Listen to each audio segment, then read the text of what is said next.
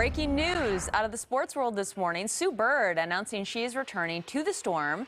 This is going to be her 19th WNBA season. She announced in a tweet this morning saying the Bird is back. There was speculation as to whether the 41 year old veteran point guard would return or retire, but it sounds like she is back for at least one more season here.